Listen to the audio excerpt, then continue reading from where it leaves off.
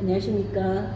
영남일보 이영란의 스위치입니다. 오늘은 기술은 뛰어나지만 자본이 부족해서 어려움을 겪고 있는 스타트업을 지원하는 DSC 인베스트먼트 윤건수 대표님을 만났습니다. 안녕하세요, 대표님. 네, 안녕하세요. 어, 요즘 사업이 좀 어떠십니까?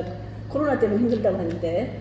어, 맞습니다. 코로나 때문에 어, 많은 사람들이 어려움을 겪고 있는데 그렇지만은 우리 벤처 창업 쪽은 정부에서 이제 많은 지원을 하기도 하고 또 많은 이제 변화가 일어나기 때문에 다른 분야보다는 뭐 나쁘진 않은 것 같습니다. 음, 기업들이 아무래도 이제 기업 음, 기술 있는 기업들이 특히나 요즘 주목을 받는 시대인 것 같은데요. 네. DSC 인베스트먼트는 어떻게 설립이 됐습니까? 어, 저는 원래 어, 첫 직장을 이제 LG전자에서 한 10년간 근무하다가 그리고 이제 그 직장에서 이제 미국에 공부하러 갈 기회가 생겼어요. 그래서 미국에서 공부를 좀 하다가 와서 제가 그 벤처 캐피탈이라는 걸 알고 그게 음, 그쪽 직 벤처 캐피탈도 제가 한, 한 10년 어, 좀 더 생각하다가 제가 아, 많은 사람들이 주변의 사람들이 한번 창업해보라는 이야기를 제가 많이 음. 들었어요. 그래서 창업에 대한 생각이 별로 없었는데 음, 뭐 주변에 몇몇 사람들이 한번 해보라고 해보면 뭐 잘 되지 않을까 이런 이야기도 많이 음. 하고 있고 해서 그래서 한번 뭐 용기를 가지고 2012년도 음. 1월 달에 제가 창업 MIT에 예, 예. 그냥 네, 하신 네. 거죠? 네. DSC라고 이야기하셨는데 어떻게 예. 해서 상호가 이렇게 그 사람들이 이제 우리가 애를 낳아도 그 이름을 어떻게 짓느냐 많이 고민하지 않습니까? 중요하죠, 사실은. 그래서 돈을 주고 이름도 짓기도 하고 그런데 실제로 저는 어, 기업의 이름을 지을 때는 그렇게 고민을 많이 안 하고 짓는다 생각을 참 많이 해요. 여러 기업 보면. 네, 일반적으로. 예, 네. 사람 이름 지을 때보다는. 네. 그래서 저는 이름을 한번 제대로 한번 짓고 싶어서 여러 가지 고민했는데 2012년도가 어, 떤 그러니까 2012년도에 제가 1월달 창업했는데 2011년 말에 뭐 제가 이제 창업 이름을 짓기 위해서 여러 가지 TV도 보고 책도 보고 했는데 그 당시 제가 아마 그때가 아마 대선 때인가 그랬을 거예요 아마요. 네, 네. 그러다 보니까 이제 그때 그때가 방송에 보면 그 당시에 사회적인 이슈들이 굉장히 많이 나왔어요. 그냥. 음. 우리 사회가 어떤 문제도 문제도 많은데 그래서 그런 고민을 하다가 물론 저는 이제 요즘 어, 크리스찬들이 많이 욕을 먹고 있는데 저는 이제 크리스찬이라서 어, 제가 이제 교회 금요일 날 교회 가서 예배를 드리다가 이런저런 고민을 고민과 예배 드리다가 제가 단어가 세 가지가 떠올랐어요. 음. 첫 번째는 꿈, 음. 쉼, 나눔이라는 단어가 음. 떠올랐는데 꿈이란 말은 뭔가 하면은 이제 뭐 저도 그 당시에 젊었지만 아, 많은 이제 젊은 창업자들, 학생들 또 우리 아이들이 사실 뭐 지금까지는 잘 살아왔지만 미래에 대한 불안감 그래서 미래에 어떤 꿈을 가지고 앞으로 어떻게 살아야 될지 거기에 대한 막연한 어떻게 보면 불안감 많이 가지고 있었어요. 그래서 저는 이제 창업을 통해서 또 많은 사람들한테 좀 꿈을 심어줄 수 있는 회사가 되면 좋겠다. 이런 생각을 가지고 꿈을 하나 했고요. 두 번째 단어가 이제 쉼이라는 어, 단어인데 쉼은 아, 저는 어, 일요일 날 한 오후 5시 되면 굉장히 머리가 사실 두통이 있었어요. 왜냐면 그 다음날 월요일 아침에 일찍 일어나서 회사 가기 싫어서 음. 그래서 어떻게 하면 직장을 어, 일요일 저녁에 행복한 음. 직장 생활을. 하면 어떨까? 그런 나도 그렇고 또 저하고 함께 일하는 사람들도 일요일 저녁에 행복한 또 아침에 일어나면 회사 가고 싶은 직장을 만들면 어떨까? 그래서 좀 약간 회사가 좀 쉼이 있고 뭐 그런 음. 만들고 싶고 있고요. 그리고 이제 아, 이 벤처라는 것이 보면은 음, 상당히 이제 어, 어떤 갈 길이 없어서 벤처 창업하는 것이 아니라 음. 굉장히 엘리트 산업입니다. 그래서 음. 많은 엘리트들이 이제 창업을 하고 또 거기서 도전을 하는데 그러다 보면은 어, 너무나 우리가 성과 위주로 갈 수밖에 없어요. 음. 그렇지만 그 성과가 또 한편으로 보면 우리가 알지 못하는 불특정 다수의 노력에 의해서 이루어지는 성과가 굉장히 많습니다. 네, 네. 그래서 저는 어떤 성과가 나게 되면 그 노력이 어, 제가 알고 있는 소수의 사람들의 결과가 아니라 우리가 알지 못하는 다수의 사람들이 도와줘서 또 함께 줘서 이룬 결과이기 때문에 그 결과를 이 사회에 나누는 것이 굉장히 중요하다. 그래서 꿈 쉼 나눔은 그게 꿈이 이제 dream이고요. 음, S가 shelter, 음, 안식처, 쉼터. 음. 그리고 C가 charity라는데 charity가 우리 성경에 보면 믿음, 소망, 사랑 그 중에 제일이 사랑이다 할 때. 음, 그게 이제 charity. 그래서 이름을 그렇게 지었습니다. 음, 굉장히 의미 있는 또는 회사가 어, 그한 10년 정도 되셨다는데 상당한 성과가 있으실 것 같아요. 네. 특히 성과는 어떤 게 정도 있으신가요? 아, 제 회사가 창업한 2012년 1월 달에 했으니까 지금 이제 8년 한 8개월 정도 어, 음. 됐습니다. 네. 그동안에 뭐 제일 큰 성과, 외형적으로 성과는 아, 제 회사가 창업 4년 11개월 만에 굉장히 짧은 기간 만에 이제 코스닥에 상장을 했습니다. 음. 상장했는데 이게 어떤 의미가 있는가 하면 저희 벤처 캐피탈계가 16년 동안 어떤 기업도 상장을 그동안 하지 못했어요. 네. 그러다가 저희들이 가장 첫 번째 케이스로 음, 어, 상장을 했고 또 저희가 상장하고 난 이후에 또 다수의 또 벤처 캐피탈들이 또 상장을 해서 우리나라 벤처 캐피탈 산업을 조금 뭐 저, 제가 판단하기에는 조금 업그레이드 했다 뭐 이렇게 저는 하는 게 제일 의미 있다는 생각을 하고 있습니다. 음.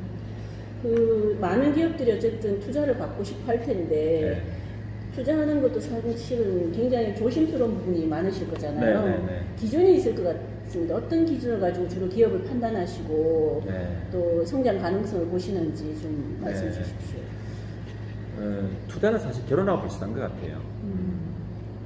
우리가 이제 투자, 뭐 결혼도 결혼하기 전 신랑 신부와 결혼한 이후에 신랑 신부가 완전히 다른 경우도 많듯이 투자도 투자하기 전과 투자한 이후에 기업을 바라봤을 때, 그 CEO를 바라봤을 때의 모습이 다른 경우가 생각보다 되게 많습니다. 그래서 그런데 많은 경험들을 가지고 있다 보면 우리가 투자할 때 판단은 아, 사람이 진짜 중요하구나 이런 걸 많이 느껴요. 그래 사람 몇 면이 그 사람이 과거에 어떤 길을 걸어왔고 지금 또 어떤 기술을 가지고 있고 그 사람이 말하는 게 얼마나 진실성이 있고 또 미래에 대한 예측 그리고 얼마나 노력을 하고 이런 것도 우리가 많이 봐요. 음, 그래서 그러니까 이제 기업 제 오너, 네, 그 네. 기업을 지금 운영하거나 투자 받으려는 오너의 어떤 인간성을 많이 보신다는 거죠. 그렇죠. 한 저는 이제 벤처 기업의 성패의 한 90%는 음. CEO의 작용, CEO의 음. 역할에 또 능력에 많이 어, 음. 좌우된다고 봅니다. 그래서 시- 초기 기- 특히 초기 기업은 CEO가 어떤 길을 가고 어떤 길을 선택하냐가 굉장히 중요하기 때문에 CEO를 많이 볼 수밖에 없어요. 음. 네. 지금까지 이제 성공한 투자에 성공한 기업을 조금 소개시켜 주실 수 있나요? 어, 지금 대표적으로 이제 우리 코스닥 상장된 기업 중에서 요즘 바이오 시장이 워낙 좋으니까 바이오 기업 중에서 ABL 바이오라고 있습니다. 지금 한 음. 시가총액이 1조 한 5천억 정도가 되는데 저희 첫 투자를 한 300억 가치로 음. 투자했으니까 투자 대비 상당히 회사가 성과가 있었죠. 음. 그리고 지금 뭐 여러 가지 뭐 기술 이전이라든가 또 우리나라 바이오 산업이 의미 있는 어, 그런 아마 일을 해낼 수 있는 어, 기업이라 생각되고 있고 뭐 그리고 또 우리가 알 수 있는 여러분들 또 쉽게 접할 수 있는 마켓클리 음, 네. 마켓클리가 이제 새벽 배송하는 음. 신선식품 새벽 배송하는 회사인데요. 그 회사도 저희들이 어, 창업할 때 투자를 해서 지금 어, 그 회사는 상장은 됐지만 거의 한 회사 가치가 1조 가까이 되는 음. 그런 좋은 회사로 성장한 회사들도 있습니다. 음. 네. 그런 회사를 처음 이제 그 투자할 때 어떤 에피소드 같은 게 있을까요? 그러니까 사실 아까 이제 투자 기준을 말씀 주시긴 했는데 그래도 일단 이게 성공 가능성이 있을까 없을까 상당히 많이 갈등이 네. 생길 때 그렇죠. 수가 있을 것 같은데 네. 그 사람들도 이분들도 똑같이 그 CEO의 어떤 인- 인간성을 보니까 아니면 아니면 뭐 그 사람들이 내놓는 비전을 보니까 에 제일 가장 큰 그 투자의 이제 포인트가 있었던 건지 네, 네, 네. 아니면 이제 앞으로 이제 우리 그 세상의 흐름 트렌드를 보고 이 사람들을 선정한 건지 예. 뭐 사실 두 가지 다 있다고 봐야 되는데요. 예를 들어서 이제 ABL 바이오 같은 경우는 좀 특이한 케이스인데 요즘은 이제 그런 일, 요런, 요즘은 이제 그런 일이 거의 발생 안 하는데 ABL 바이오가 창업할 한 4, 5년 전에만 하더라도 어, 대기업에서 이제 에, 바이오 사업부가 어, 회사에서 이제 어떻게 보면 대기업의 내 사업부가 그 이제 이게 돈이 굉장히 많이 들고 굉장히 롱텀 투자를 해야 되는 뭐 그런 쪽 분야예요. 그러다 보니까 어, 바이오 산업에 대한 확 고한 의지가 없으면 이걸 계속 가져가기 되게 힘듭니다. 음. 그래서 이제 대기업에서 이제 어떤 특정한 대기업은 바이오 산업을 철수하는 경우가 되게 많은데, 음. 근데 우리가 그걸 보면 어, 일단 어, 이미 수백억의 자본이 투자가 돼 있고 많은 사람들도 또 상당 기간 동안 그 분야 R&D가 꽤 많이 축적되어 있는 기업이 생각보다 많이 있었어요. 그 에벨 바이오 같은 경우에도 대기업에 있는 어, 그 바이오 사업부가 그쪽에서 회사가 철수하면서 어, 밖에 나서 만들어진 회사거든요. 그런 경우는 회사가 초기 기업이지만 이미 기술도 많이 축적이 되어 있고 이미 투자도 많이 되어 있기 때문에 투자자의 관점에서는 리스크가 상당히 많이 이제 줄어든 거죠. 음. 그게 이제 제일 중요한 포인트였고 또 대표이사인 이상훈 박사는 이미 이제 글로벌 쪽에 이제 어 그런 쪽에 창업한 어 벤처 기업에 어 종사한 경험도 있었고 상당한 뭐 나름대로 성과를 가지고 있는 분이라서 어 사람에 대한 뭐랄까 기술에 대한 우수성 그리고 글로벌에 진출하고자 하는 그런 의지, 능력 그리고 과거에 대기업에서 상당한 축적된 기술 뭐 이런 것들이 굉장히 중요했고요. 또 하나 이제 저희 회사 좀 특이한 의사결정 과정 중에 하나 회사 중에 하나 있는데 그 플리토라는 회사가 있어요. 그거는 이제 집단 지성을 이용해서 어, 번역을 해주는 어, 그런 회사인데 어, 그 회사는 저희들이 처음 만났을 때 그 회사가 대기업에 이제 연구원으로 있었던 사람들이었어요.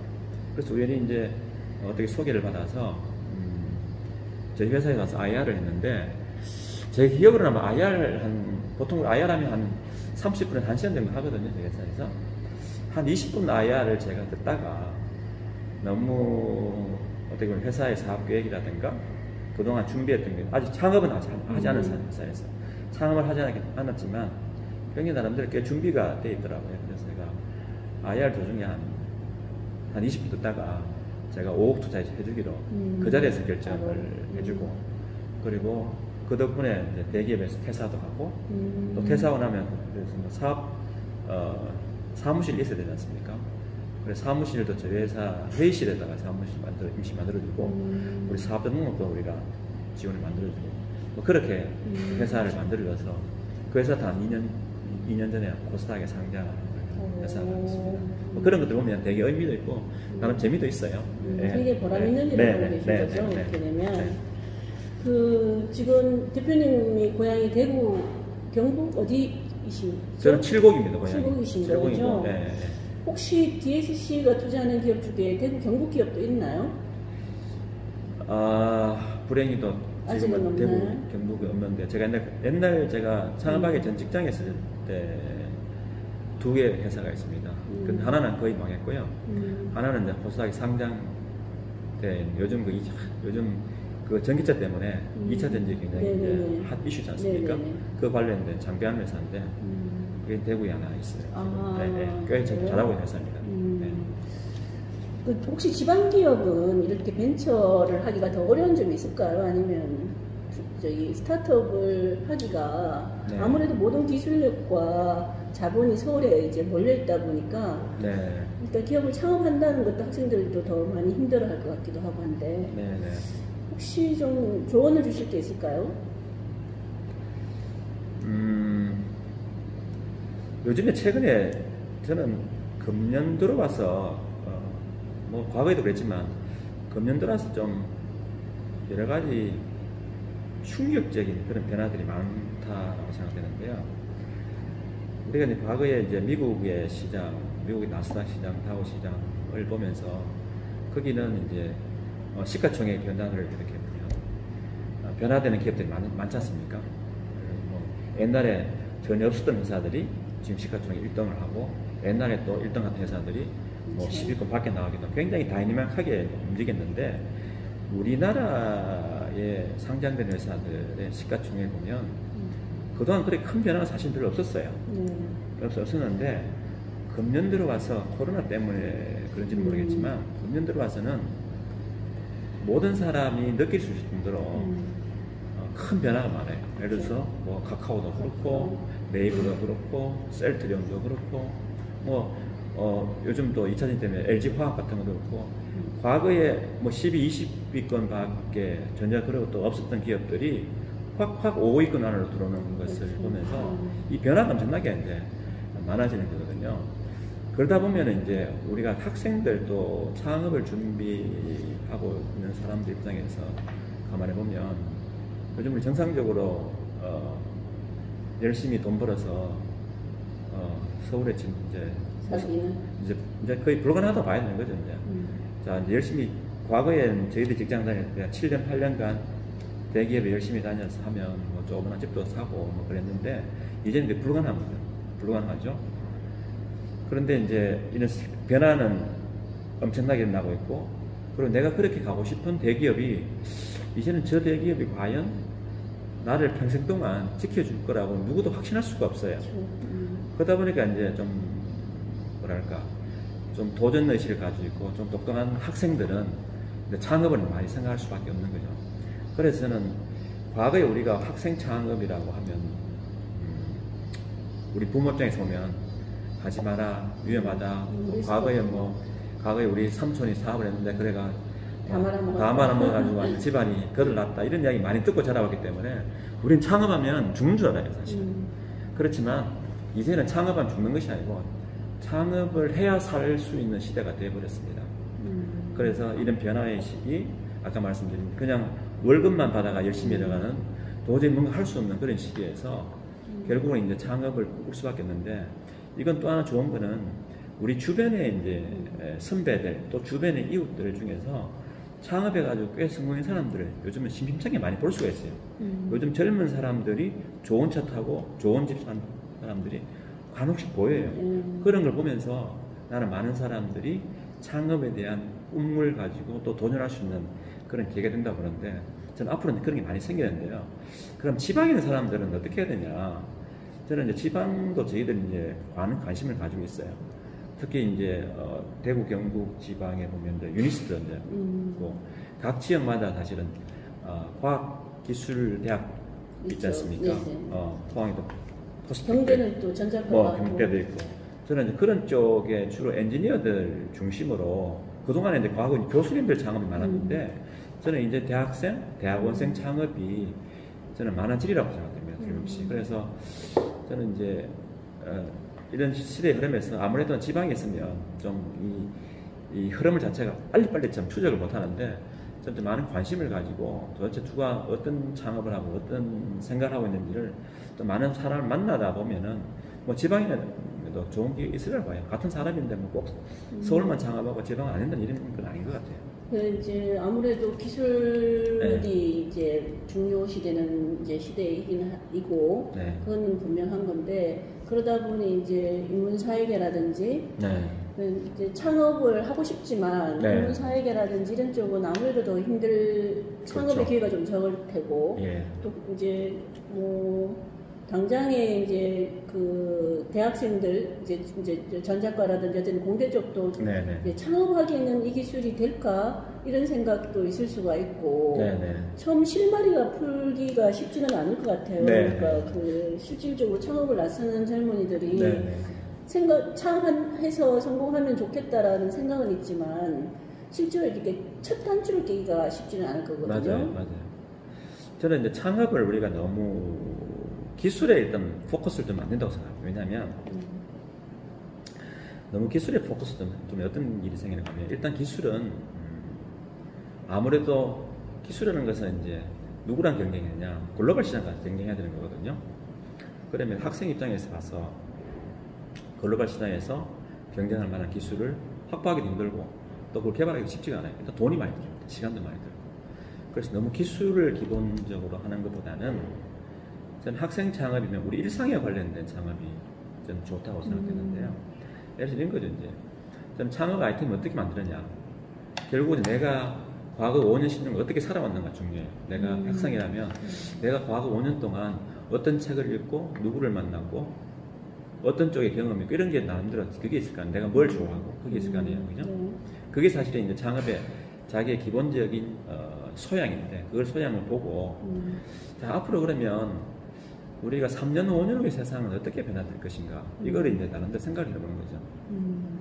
3년, 5년 후의 세상은 이렇게 변화될 것 같은데 그러면 지금 그 변화되는 세상에서 지금은 어떤 문제가 있는지 그게 음. 그 문제를 해결하는 그게 사실 창업 아이템이거든요. 음. 그래서 내가 생활하면서 불편하고 어떻게 개선해야 되는 이런 것들 우리가 어, 개선하는 것이 이제 창업 아이템인데 실제로 우리가 지금 유니콘 기업들을 많이 보면 뭐 기술 처음에는 기술적으로 생각한 게 아니에요. 예를 들어서 어, 마켓컬리도 처음 지금은 상당히 기술이 뒷받침돼야 되는 기업이지만 처음에는 신선식품을 어떻게 보면 배송한다. 음. 사실 우리가 이제 신선식품을 옛날에 우리가 사 먹으려면 슈퍼가 슈퍼마켓 가야 되잖아요. 음. 그런데 직장 여성으로서 아유 이건 뭐 저녁마다 가기도 힘들고 바, 바쁜데 제 시간에 신선식품 먹- 먹기도 곤란하고 해서 좀 그게 아침에 좀 배달했으면 좋겠다. 그런 단순한 아이디어를 가지고 시작을 한 거거든요. 음. 그래서 저는 학생 창업은 음, 내 생활에 주변 관련된 걸 찾는 게 되게 중요합니다. 음. 네. 그걸 하다가 그걸 하려면 이제 어, 시간이 지나면서 고도화가 필요하죠. 그때 이제 기술이 이제 들어가는데 어느 정도 비즈니스 모델이 음. 되면 그 다음부터 기술을 가지고 있는 건 사람을 뽑고 또 나름대로 뭐 인수를 하면 되기 때문에 음. 일단은 처음은 이제 아이디어를 음. 찾는 게 거. 제일 중요합니다. 그래서 이제 창업을 중시하시는 분 중에 제일 대표적인 사람이 이제 피터. 틸이라고 페이팔 이제 음. 어, 마피아의 대부 정도 네. 되는 그러니까 이제 음, 저도 이 사람을 만나봤었거든요. 네. 제로투원 이제 책을 쓰면서 한국에도 왔었기 때문에 네, 이 네, 양반은 아예 대학을 중퇴하라 네, 그것까지 네. 이야기했거든요. 네, 네. 실제로 대학 교육이라는 게 필요 없을까요? 창업을 위해 창업이 더 중요하기 때문에. 저는 이제 대학 교육이 필요 없다고 이야기하는 거는 좀 너무 저는 좀 과격한 생각이지 않을까 생각이 드는데요. 음, 필요는 합니다. 음, 왜냐하면 대학 안에서 사람도 사귀고 음. 또 그리고 기본적인 뭐 대학에 사실은 저도 대학을 졸업했지만 지금 졸업한 때 고- 제가 학교에서 뭘 배웠냐 생각 배운 게 아무것도 없는 것 같아요. 음, 그렇지만 그 안에서 나도 알지 못하는 나름대로의 뭔가 용어도 좀 배우고 뭐 여러 가지 했다고 생각하는데요. 대학 교육이 필요 없는 건 아닌데 저는 이런 생각을 많이 우리 학생들한테 이런 이야기 많이 하는데요. 자 우리가 그토록 가고 싶은 데가 대기업인데 대기업 가려면 토익도 공부하고 토플도 공부하고 도산에서 어떤 학생들은 또 해외 경험도 가지고 뭐 요즘 4년 만에 졸업하는 학생 없지 않습니까? 뭐 5년, 6년 만에 졸업을 하고 가려고 그러는데 난 그럴 필요 없다. 그 시간에 어떻게 보면은 물론 공부도 해야 되지만 우리가 그 시간에 좋아하는 친구들끼리 좀 모여가지고 한번 창업 한번 해봐라. 음, 그래 창업을 해보고 난 다음에 진짜 이제 배달의 민족처럼 창업이 잘 돼가 대박이 나면 그 길로 쭉 가면 뭐 엄청 좋잖아 대박이고 만약에 내가 실패했어요 실패하고 난 다음에 저는 대기업은 창업에서 실패하면 가는 데가 대기업이라고 생각해요 음, 그래 꼭 창업을 해보시 좋아요. 그럼 제가 왜 창업에서 실패하면 대기업 가 된다는데 왜 이런 이야기를 하냐 하면 저도 옛날 LG전자에 다녔었는데 옛날 LG전자 인사하는 인물 만나 이런 이야기 들었어요. 그냥 대학을 졸업한 친구를 뽑아가지고 한번 써본 거하고 뭐 창업을 했던 벤처 기업에서 일했던 친구를 써보가지고 해보니까 그 사람 두 사람의 성과 차이가 너무 많이 난다는 거죠. 음, 뭐이 벤처 쪽 있던 사람들 성과가 더 좋다. 그게 그럴 수밖에 없는 게 공부 열심히 하는 애들은 도산에서 그냥 영어 공부 열심히 하고 해가지고 취직을 한 건데 창업을 해보면 여러 가지 고민할 게 많아요. 사람에 대한 고민, R&D 고- 고민, 그리고 자금, 마케팅 이 고민할 게 한두 가지겠습니까? 음, 그런 많은 고민들을 하다가 대기업에 가니까 대기업 팀장 맡기가 너무 잘한다는 거죠. 음, 그래서 저는 요즘 또 어, 우리가 특- 특이한 것은 많은 기업들이 공채를 안 합니다. 음. 거의 대부분. 수시 채용이라는 거 많거든요. 음, 수시 채용 있고로 그게 뭐 어떤 의미냐? 수시 채용 있고로 사람 안 뽑는다는 얘기가 되거든요. 음, 그리고 신입사는 안 뽑는다. 경영사 뽑는 이야기인데 그러면은 내가 창업을 하고 아니면 벤처기업에서 어떤 중요한 역할을 해받은 사람들이 대기업 가기 시겠습니까? 조성 안에서 열심히 공부한 사람이 어, 대기업에 가기 시겠습니까? 이거는 이제 명확하게 드러난 겁니다. 이제. 음. 그 이제, 이제 이제 물론 이제 실패해도 좋은 그게 결국은 자양분이라는 말씀이시긴 그렇죠. 한데 거기에서 배우는 게 너무 크다는 거죠. 그 실패라는 건 결국은 그 상처라든지 고통이라는 걸 수반하는 거잖아요. 그렇죠. 그런 물론 이제 우리가 어른이 된 입장에서 보면 그 실패에서 오는 상처를 겪어보고 이런 것들이 크게 인생에 도움이 된다라고 말씀할 수가 있지만 네. 또 어, 상처를 겪는 그 당사자는 굉장히 힘든 시기를 건너는 거거든요. 그리고 다시 또 서서 다시 그렇게 그걸 딛고 올라올 네. 수 있으면 다행이지만 맞아요, 맞아요. 또 못 올라올 수 있는 사람도 있을 테고 어떻게 그 시기를 건너야 되죠, 그럼? 저는 이제 그 우리가 뭐 어른들이 이야기하지 않습니까? 이제 음. 젊었을 때 그 고생은 사소도 하라 이런 걸 이야기했듯이 학생 때는 뭐 그런 거 겪어 어, 봐야 된다고 생각되는데요. 저는 이제 젊을 때 그런 고민을 하냐, 나이 들어서 고민하냐 이 두 가지 기로에 있는데, 자 우리가 한번 지금 우리 사, 우리 사- 사회를 보면 내가 정상적으로 열심히 대학을 졸업해서 대기업을 어, 가서 가면 우리가 언제 회사를 그만 거의 대부분이 지금은 50대 중반 되면 거의 대부분 다 그만둡니다. 뭐 지금 학생들이 지금 학생들이 대기업에 간다면은 아마 저는 50대 초반, 뭐 40, 빠르면 40 후반에 나올 가능성이 되게 앞으로는 더 이제 더 짧아질 것 같은데요. 그런데 우리 수명은 진짜 불행하게도 우리 수명은 지금 우리 나이 때는 이제는 큰 일이 없으면 100살까지 살 수밖에 없어요. 음. 그럼 우리 학생들은 지금 학생들은 100살 더 이상 살 가능성이 있어요. 자 그러면 우리가 40대 후반에 50대 초반에 직장을 그만두고 나면 음. 우리 3, 40년을 어떻게 살 거냐 이게 이제 문제잖아요. 그 젊을 때 우리가 도전하고 뭐 도- 실패도 하고 그런 경험을 가지고 앞으로 우리가 4, 50년을 살 거냐 그걸 하지 않고 내가 한 30년 직장 생활해서 그 다음에 내가 큰 어떻게 도전을 하냐 이런 문제거든요. 저는 그래서 미리 도전하고 경험을 가지는 것이 우리 인생의 후반전에 얼마나 내가 좀 자신감을 가지고 뭐 또 자기 일을 하면서 하는가 보면 그런 보게 되면 저는 그게 인생 전체를 보면 리스크가 훨씬 더 음. 젊을 때 도전하는 것이 리스크가 훨씬 더 없어요. 음. 네. 네. 어, 윤 대표님은 이제 그래도 크게 네. 어, 이제 그 창업이 상당한 리스테이크 하셨겠지만, 음, 어려움, 크게 어려움을 없이 이렇게 지금까지 창업에 성공하고 지금 기업도 이렇게 안정적으로 운영하신다고 볼 수 있는데, 네, 네.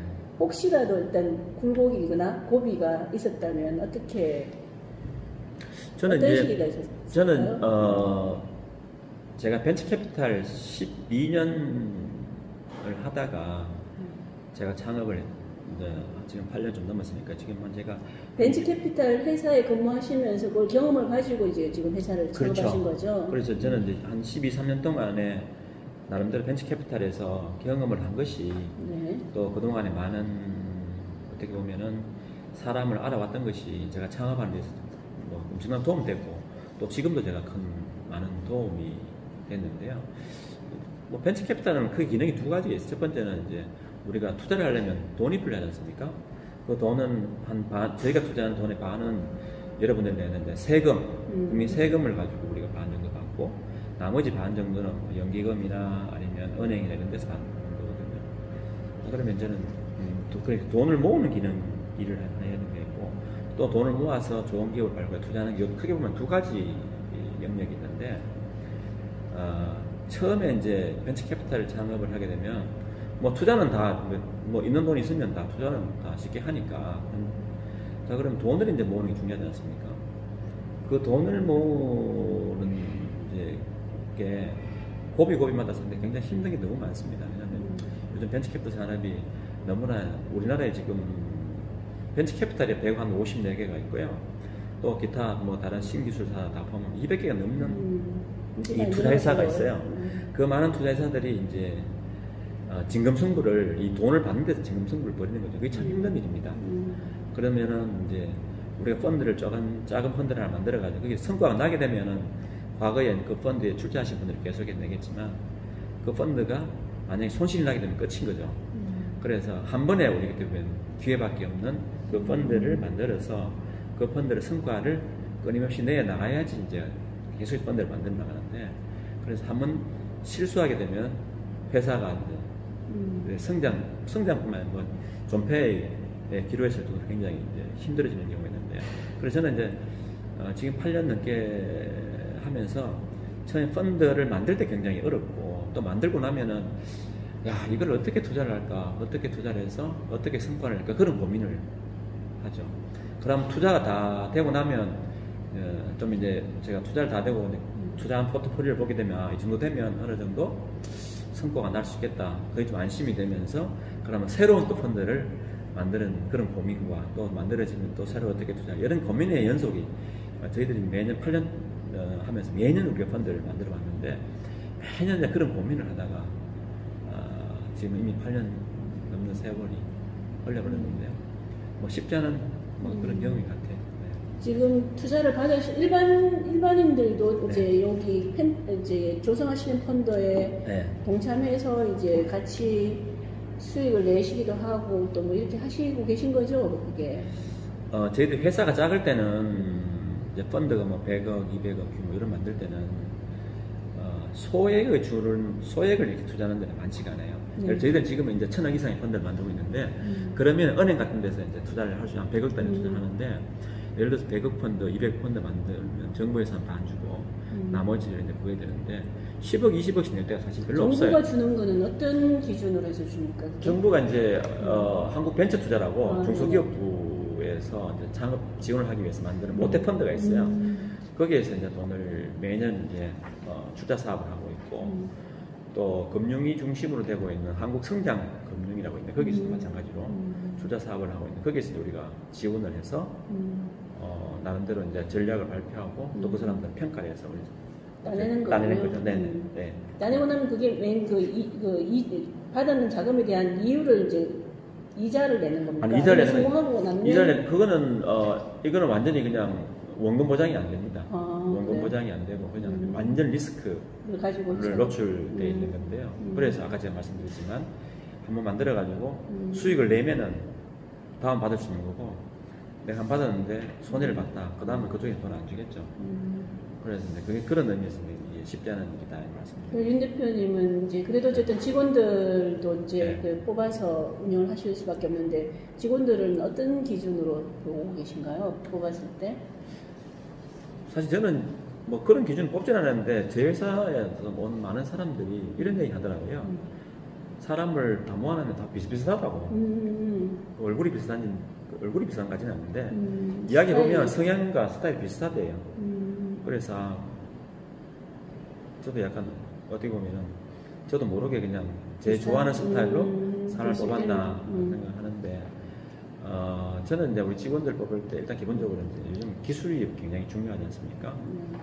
그래서 기술에 대해 중요한데 창업을 한 사신 분들하고 우리가 대화를 하면서 그 사람들 질문도 하고 또 그 사람들이 또 모르는 부분도 우리 이야기를 해야 되면 기술적으로 좀 대단한 수준 대화할 수 있어야 돼요. 음. 그래서 이제 기술에 대한 이해도가 좀 그러다 보면 이제 약간 대기업에서 그런 쪽의 경험을 해왔던 사람. 지금 저희가 이제 자회사가 하나 있는데 자회사는 음. 저희들이 이제 회사 규모가 좀 커져서 벤처 기업에 이제 1억에서 한 5억까지 투자하는 게 힘듭니다. 음. 못하는데 그런데 1억에서 5억까지 투자를 필요한 기업도 되게 많거든요. 그렇죠. 뭐 그런 거를 전담을 한 accelerator를 만들었어요. 음. 음, 거기서 좋은 기업들, 거기도 한 지금 한 서른 한 세, 세 개, 네개 기업 투자했는데, 음. 음, 거기에 직원이 여섯 명 있고요. 어, 저희 DSC 인베스트먼트에서 19명 있으니까 20, 뭐, 되겠네요. 또 저는 또, 그, 저희 회사가 여기 또 성동구, 서울 음. 성동구에 있는데, 요 주변에 음. 대학교가 하나 딱 있습니다. 한양대학교. 어, 한양대 있다. 대가 있는데 제가 이제 얼마 전부터 이제 그것도 꽤 시간 전에 한 4년쯤 됐나? 제가 인턴을 이제 음. 어, 대학교하고 이제 연결을 해서 한 학기 동안 저희 회사에서 인턴하게 되면 어, 15학점을 줍니다. 아, 네. 저희도 학점 예, 예, 학교에서 몇십만 원 주고 또 저희들도 음. 한뭐좀돈 주면서 용돈 될 정도로 음. 주는데 그래서 보통 한 6개월에서 한 8개월 정도 있다 하는데요. 저희들이 한 학기에 보통 한 6명 정도. 그럼 음. 1년에 한 12명 정도 음. 뽑아 계속해서 하고 있는데 그것까지 합치면 이제 거의 한 30명 가까이 돼요. 음. 인턴까지 합치면. 인턴도 굉장히 많은 걸 배울 수 있을 것 아, 같아요. 예, 예, 예.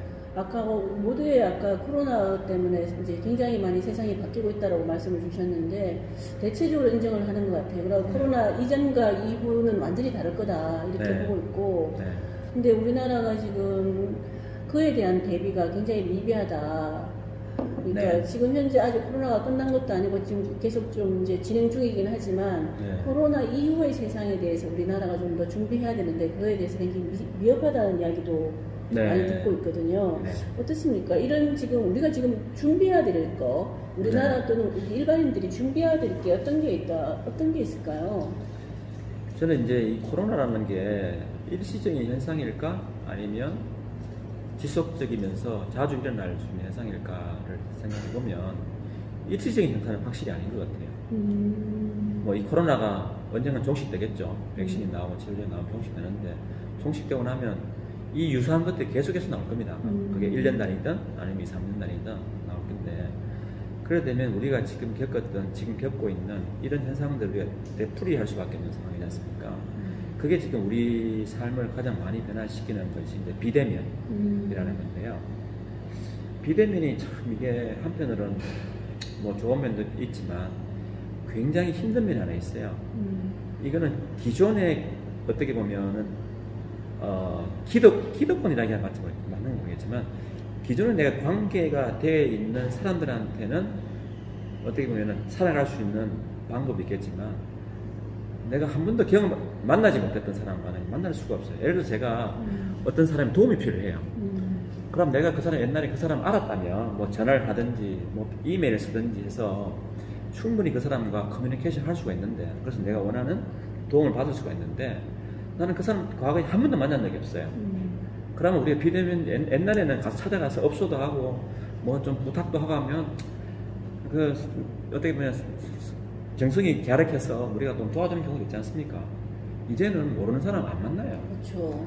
안 만난다는 이야기는 그 사람의 도움을 나는 이제 평생 못 받을 수밖에 없는 거예요. 음, 그래서 가지고 기득 지금 현재 뭔가 기득권을 가지고 있는 사람들은 음, 더 사실은 더잘살수 있고 좋아질 거고 음, 그렇지 못한 사람들은 더 이제는 기회가 없어지는 거거든요. 음. 그래서 저는 이게 제일 어, 나쁜 현상이 뭔가 하면 쏠림 현상이에요. 음, 완전히 그러니까 가진 자와 가지지 못한 자의 그 쏠림이 음, 엄청나게 이제 어, 커지는데 우리가 우리가 예를 들어서 우리가 어, 예- 예를 들어서 우리가 팔씨름할 때도 우리가 팽팽하게 균형을 가지고 있다가 누가 힘이 세면은 이렇게 좀 넘어가지 않습니까? 음. 여기까지 넘어갈 때는 나름대로 그 힘이 좀 버티다 넘어가요.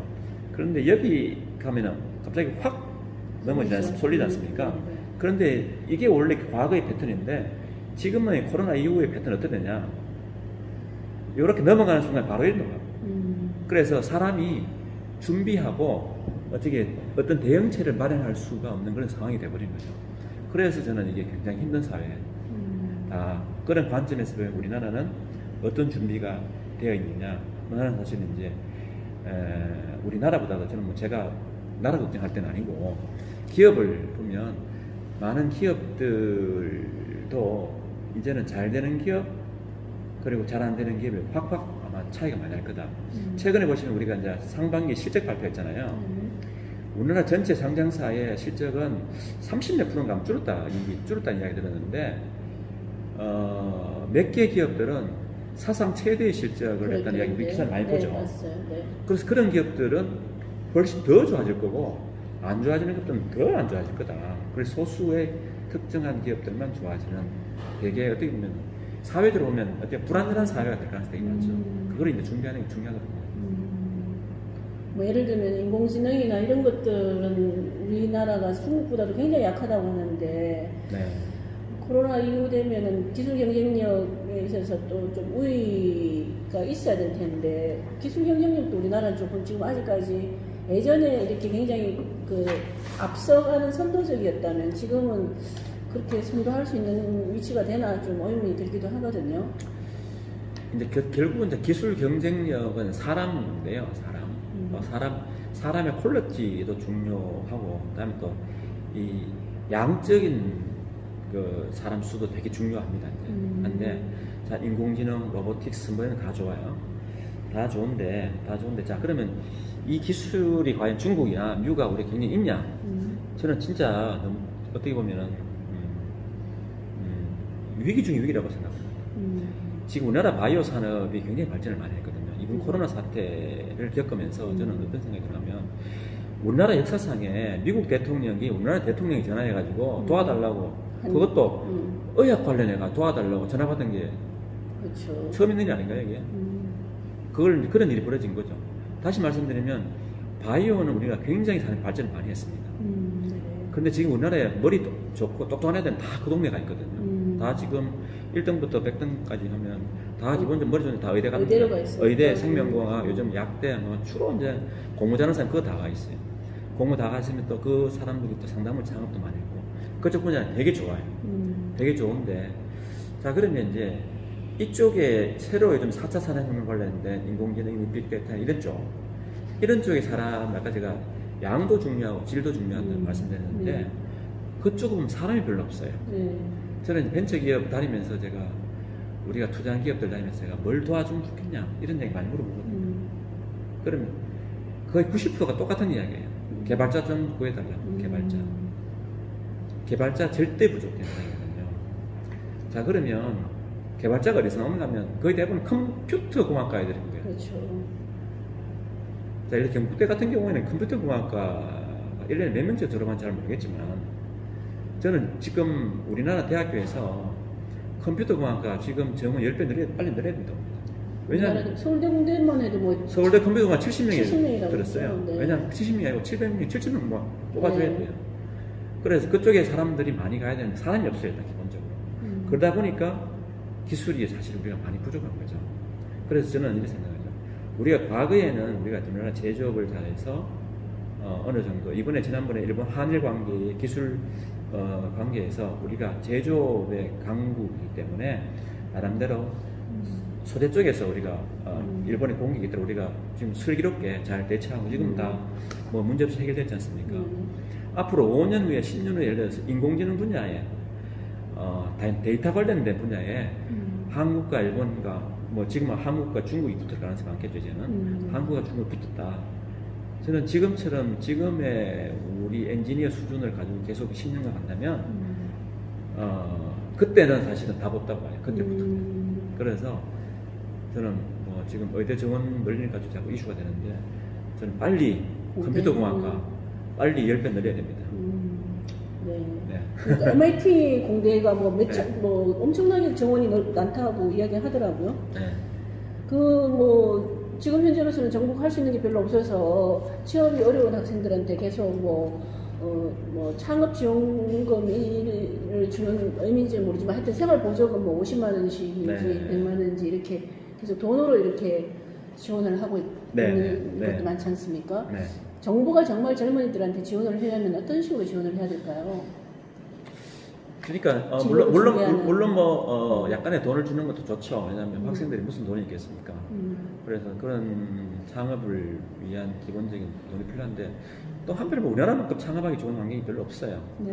뭐 미국 이야기하는 5달러 창업이라고 음, 우리가 이제 5달러라는 우리 가면 커피숍에 가서 커피 한 잔 먹을 돈만 있으면 와이파이 잘 되죠. 음. 또 컴퓨터 안 들고 가면 네. 뭐 어, 인터넷도 잘 되기 때문에 뭐 세상의 모든 걸 돌아다니는 여러 가지 아이들과는 이제 창업을 할 수 있다는 그런 의미인데 저는 우리나라도 여러 가지 창업 경진대라든가 또 내가 팀을 만들면 또 정부에서 받을 수 있는 거 또 사무실도 학교에서 그런 공간들이 많지 않습니까? 음. 거의 돈 안 내고 하는 공간들이 많기 때문에 저는 큰 돈 없이 창업할 수 있는 게 되게 많다고 봐요. 또 음, 대학교 창업도 좋은 게 월급 안 줘도 되잖아요. 음, 그냥 월급 없이 하면 되잖아요. 음. 그리고 돈 들어갈 게 사실 별로 없어요. 창업하면 돈 했으면 좋겠어요. 많은 많은 젊은이들이 이런 말을 좀 듣고 용기를 좀 얻기를 바라고요. 네네. 지금은 이제 앞으로는 그 DSC 인베스트먼트 어떻습니까? 이제 이제 어쨌든 본인의 어떤 앞으로 진로라든지 향후의 계획이라든지 이런 것들은 회사와 같이 갈 수밖에 없을 텐데 네. 어쨌든 항상 결단하고 변화의 순간에 어떤 결정을 해야 되고 하는 그런 입장에 계신 거잖아요. 네네네. 그래서 앞으로는 어떤 계획을 갖고 계시고 또 어떤 그러니까 결단의 순간이 있었을 때 어떤 네. 것을 기준으로 해서 그거를 이제 판단을 하시는지 네네. 좀 젊은이들한테 도움을 줄 수 있을 것 같습니다. 저는 이제 음, 앞으로 제가 꼭 해보고 싶은 게 뭔가 하면 어, 기술 기업을 한번 제대로 한번 육성해보고 싶은데요. 음. 우리가 이제 유니콘 기업은 네. 그 비상장 기업으로서 회사 가치가 1조가 넘는 기업을 유니콘 기업이라고 하는데 우리나라에 이 유니콘 기업이 13개 있습니다. 네. 13개 있는데 13개 기업들을 보면은 많은 부분이 유통 관련 기업이고 음. 그런 게임 뭐 이런 회사들이 많아요. 물론 저는 그것도 굉장히 중요합니다. 그쪽도 유니콘이 더 나와야 돼요. 그런데 지금 우리가 아까 좀 전에 말씀하신 인공지능이나 여러 가지 기술에 대한 음. 근데 이 코로나 사태 이후로 우리가 사람을 만나지 않는다 비대면이라는 걸 보면 음. 그 안에 기술이 그렇게 어, 비대면 언택 이꼬르 tech inside라는 거랑 똑같은 이야기거든요. 음. 그 안에 기술이 있어야 되는데 근데 기술은 아까 제가 말씀드린 우리나라 기술이 상당히 많이 중국, 미국에 음. 많이 뒤쳐져 있는데 어. 그래 그 기술 기업 역전된 거죠 기술력이라는 게 지금 미국보다는 우리가 기술력이 좀 떨어졌다 할지라도 우리는 항상 중국보다는 기술력이 뛰어, 더 나을 거라고 생각을 해왔는데 예. 지금 보시기에 지금 중국보다 기술력이 떨어진 거로 보신다는 거잖아요. 제가 말씀드린 4차 혁명 관련된 기술들은 음. 뭐 우리가 엄청 많이 때도 일단 그럼 기본적으로 중국이 많이 올라왔어요. 그렇죠. 거의 뭐 세계 최고 수준의 기술을 투자 상당 투자 액수 투자 금액이 엄청 뛰어난 많은 거죠. 그러니까. 돈도 많지만 약간 사람이 아 많잖아요. 네. 왜냐하면 양과 질의 측면에서 우리가 이겨낼 수가 없어요. 음. 그래서 저는 빨리 제가 그게 이제 우리가 이. 이기려면 음. 사람 수도 많아야 되고 또 질적인 사람들을 우리가 많이 양산할 수밖에 없어요. 그래서 저는 뭐 대학교 필요 없다고 이야기하지만 저는 대학교 좀 중요하다고 봅니다. 음, 네. 네. 그래서 저는 기술 기업을 저 유니콘 기업 몇개 음. 만들어 싶은 게 꿈입니다. 지금 현재는 기술 기업들이 유니콘 없습니다. 없습니까? 네, 없습니다. 아. 네, 아직 없습니다. 음. 그래서 기술 tech 기업의 유니콘 기업을 제가 제일 먼저 만들어 보고 싶고 또 그런 걸한 다섯 개 만들어 보고 싶은 게 음. 제 꿈입니다. 그렇게 하기 위해서는 제가 이제 물론 저도 이제 기술에 대한 공부도 많이 해야 되겠지만 제가 그런 걸 하기 위해서 어, 우리 회사 내에 이제 약간 리서치 기능, 기술을 리서치하는 증권사 하면 리서치 센터가 있지 않습니까? 네, 네. 근데 벤처 캐피탈은 리서치 센터라는 게 없어요. 음. 제가 리서치 센터 같은 걸 자그마하게 만들어서 기술을 study하고 또 세계의 어떤 기업들이 음. 어, 예를 들어서 얼마, 어느 정도의 회사가 투자를 받고 또 M&A 어떻게 일어나고 있고 음. 어떤 기술을 개발하고 있고 나름대로 이 트렌드를 좀 추적하면서 음. 그 트렌드에 맞는 기업들 찾고 또 그런 정보도 제공하고 뭐 그런 일을 하면서 기술 기업, 유니콘 기업 다섯 개 만드는 게 제 꿈입니다. 어, 저희는 뭐, 그, 뭐지, 카카오, 카카오나 아니면은 네, 뭐, 넥슨 이런 것들도 다 기술 기업에 속하는 건 줄 알더니 그건 또 다 별도로 아, 봐야 되는 거예요. 그런 것도 기술 기업이죠. 기술 네. 기업이죠. 왜냐하면 그 처음에 그 회사가 아까 말씀드린 처음에 회사가 만들어질 때는 음. 기술. 하는 생활에 내가 음. 뭔가의 서비스, 네. 뭔가 필요한 걸 내가 제공하는 거지 않습니까? 음. 또 하다 그게 잘 되려면 다 밑바닥에 기술이 필요해요. 네네. 그러다 보니까 지금 우리가 우리가 잘 알고 아마존, 네. 아마존을 생각하면 뭐 합니까 그게? 배, 근데 뭐 우리 뭐책 유통업이죠, 배달 유통업. 유통업이라 생각하는데 그 회사가 이제 유통업이라 생각이 아니에요. 그러면 보면은 다 어떻게 보면 클라우딩 관련된 테크, 데이터 이런 게 기술 기업이거든요. 음. 그 시작은 기술로 시작한 것이 아니고 아. 시작은 아이디어를 가지고 우리 생활의 불편함을 해소하게 만들지만 네. 나중에 잘 되려면 결국 안에 기술이 돼야 된다. 음. 그래서 저는 왜, 왜 기술이 왜 중요하다고 자꾸 말씀드리냐면 그런 유니콘 기업이 되려면 어떻게 보면 굉장히 저 서비스적으로 굉장히 어떻게 보면 많은 사람이 사용해야 되지 않습니까? 네네. 그 밑바닥만 다 기술인데 음. 이 기술이 안 돼 있어가 유니콘 기업 갈 수가 없어요. 음. 그래서 기술이 몇 굉장히 년 중요해요. 내로 가능하다고 보십니까? 그 유니콘 기업을 키우는 게 기술 기업을? 저는 한 5년 내에는 꼭 나와요. 예. 음. 알겠습니다. 그 일반인들도 요즘 어쨌든 투자에 관심이 많습니다. 요즘 네. 부동산 투자도 하기도 힘들고 한데 마지막으로 혹시 투자 네. 투자를 잘 하려면 어떻게 해야 되는지 좀 실질적인 좀 조언을 좀 주십시오. 네, 제가 우리 애들한테 하는 이야기인데요. 아, 일반인들은 제, 제 주변의 사람들이 많이, 항상 막 이야기 많이 해요. 친구도 그렇고, 뭐, 와, 이야기하는 거야. 야, 어, 10배 가는 벤처 주식 좀 소개해달라고 하거든요. 음, 한 개만. 음, 세상에 그런 게 있습니까? 그거 있으면 내야죠. 벤처는요, 벤처는 철저히 포트폴리오 투자예요. 음. 왜냐하면 저도 투자하면서 이게 잘 될지 잘, 잘 될지 뭐 잘 된다고 생각하고 투자하지만 음. 이게 잘 될지 안 될지 잘 몰라요. 음. 그래서 벤처 투자를 개인이 그것도 체리 패킹 좋은 거쫙 골라서 음. 한다는 거는 저는 거의 불가능합니다. 음. 벤처는 그냥 여러 개 투자를 포트폴 투자해서 그 중에 몇 개가 잘 되는 걸 가지고 전체 나머지 망한 것 빼고 전체에서 수익을 내는 그런 게임을 하는 거기 때문에 내가 개인이 좋은 거 한두 개를 본다는 건 불가능하기 때문에 그건 하면 안 돼요. 음. 그러면 이제 그러면 개인 입장에서는 어떤 재테크를 해야 되냐? 저는 앞으로 뭐 과거도 그랬지 앞으로 우리가 학생들이 금융 투자에 대한 음. 우리가 공부를 안 하고 금융 투자에 대한 지식이 없이 어, 세상을 잘 살 수가 없어요. 내가 월급 받아가지고 음. 매달 얼마 쓰고 얼마 저금해서 잘 살 수가 없어요. 그럼 결국은 금융 투자를 해야 되는데 그런 금융 투자 어떻게 해야 되냐? 저는 이제 되게 심플하다 생각합니다.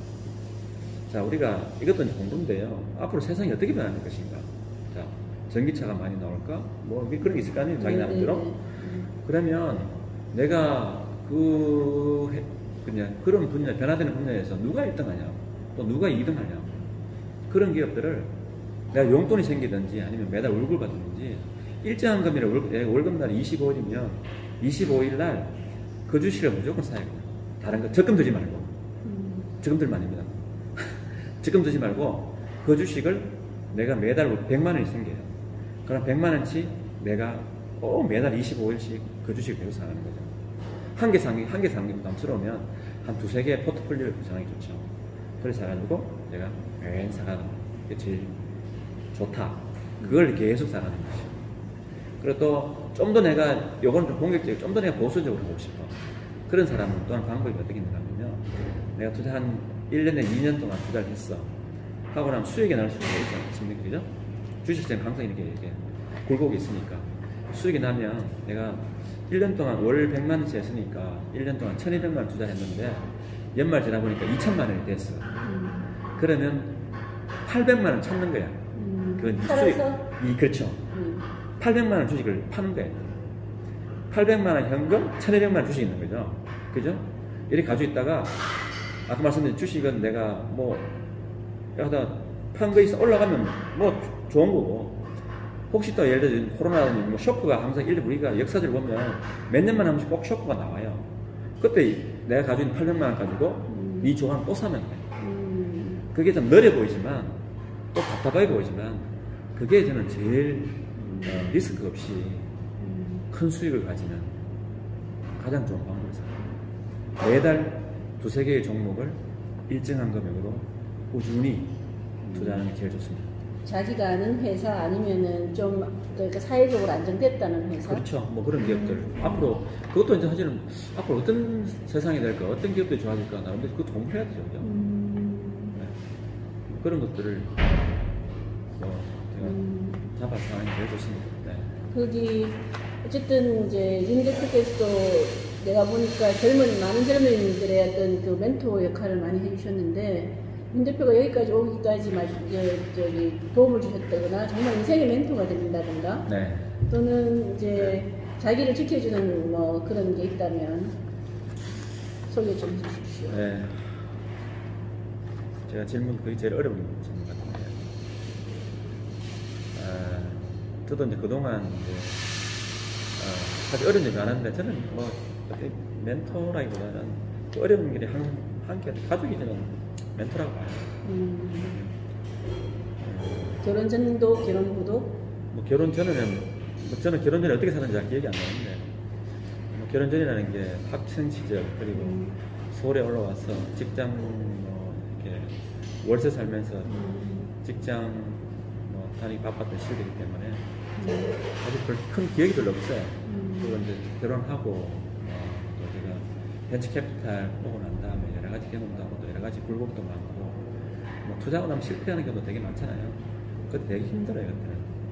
그때 예, 집에 와서 뭐 이런 이런 이야기하고 그런 그러면서 휴식도 하고 스트레스도 풀고 또 그 안에서 답도 구하고 뭐 그런 것 같은 생각이 듭니다. 그리고 오늘 장시간 인터뷰 감사합니다. 아마 젊은이들에게 굉장히 많은 도움이 됐을 것 같, 예. 정리 인터뷰였습니다. 감사합니다. 네, 감사합니다.